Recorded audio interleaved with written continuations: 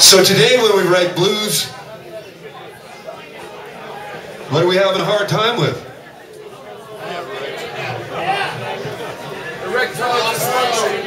Well, we wrote a blues song, and it because we are having a hard time finding some nice bumps.